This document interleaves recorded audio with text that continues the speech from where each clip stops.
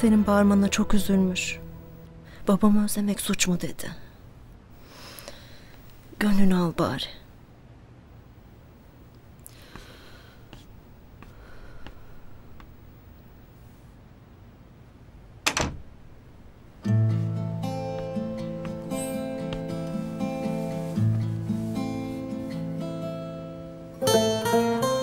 Sana bağırmak istemedim bebeğim.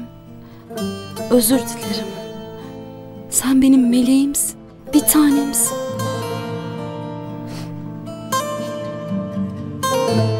Seni üzmek ister miyim hiç? Benim de sinirlerim bozuk. Baban yanımızda olmadığı için ben de çok üzgünüm. O yüzden kendimi kaybettim. Bağırır gibi konuştum seninle.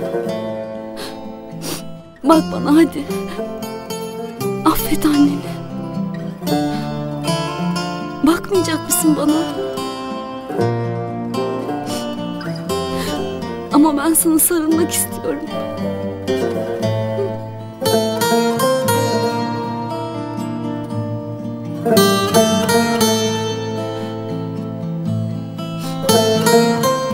Sen çekmiştin değil mi?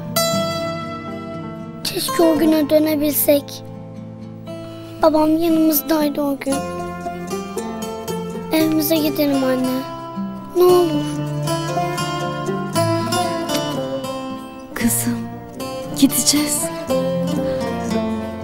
Ama önce biraz uyuyalım. Sen, ben, baba. Olmaz mı? Çok yorgunum meleğim. Hadi kırma anneni. Merak etme. Sabah olduğunda düzelecek her şey. Düzelecek.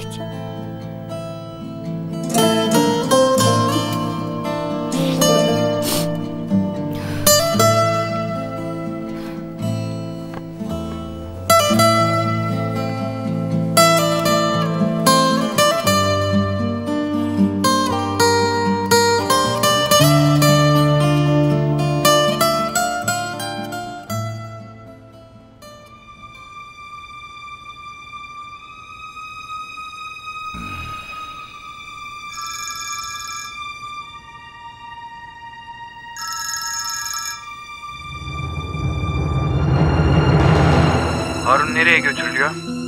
Harun mu? Dalga mı geçiyorsun? Harun nereye götürülüyor? Soruma cevap ver. Ne götürmesi? Saçmalama. Ben saçmalamıyorum. Cevap bekliyorum. Ne diyorsun sen ya? Benim bir şeyden haberim yok. Bak dostum. Madem bir şeyden haberin yok, bundan sonra haberdar olacaksın. Harun hastaneden çıkarıldı.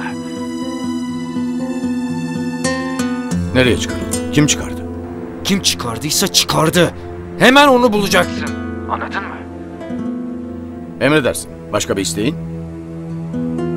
Bak, ben üzerime düşeni yaptım. Kaçırmasaydın elinden. Bana bak geri zekalı.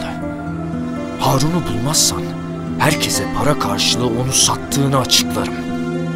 Banka hesapların ortada. Sana aldığımdan çok daha fazla para ödedim. Şimdi seçimini yap.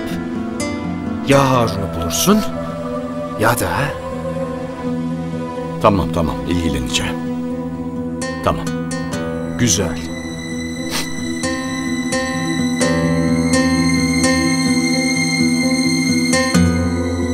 Bırak oğlum. İşte şimdi bittin. Bu sefer kırık çıkıkla da kurtaramazsın.